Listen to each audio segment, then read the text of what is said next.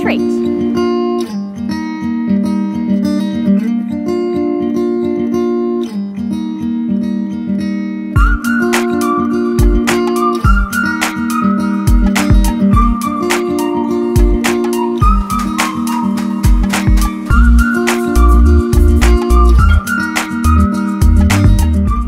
treat. Friday Tuck Shop is a diamond in the rough. It has everything you could possibly need. Barista made coffee, pies, donuts, mini cakes, wraps, sandwiches, and all of the punters are local businesses in the area. But if you want to find it, and trust me, you do, get off Queen Street, head down Durham Lane, and it is across from the Blue Stone Room.